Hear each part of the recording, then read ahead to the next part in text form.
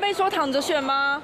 听到“躺着选”三个字，赖清德的嘴角微微上扬。不过想笑到最后，可不能松懈，他要用行动证明每天有持续认真在跑。倒数四个月，各地的竞选主委正式出炉。您今天也出席啊？然后这个是英赖大团结。哎，对。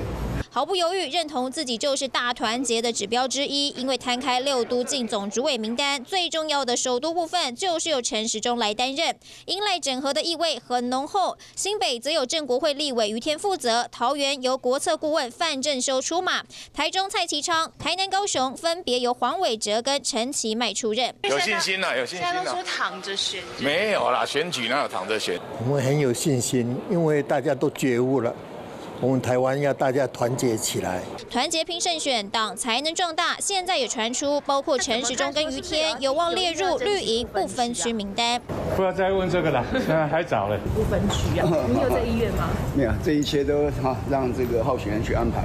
这个竞选总部的主委是要这汤抠，要啊去奔波，不是呢来分官，不是来加位的。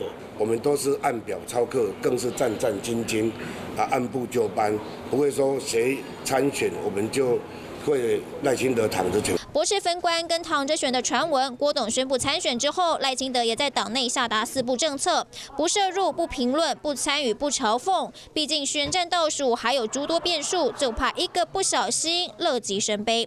华视新闻张新闻张正杰台北报道。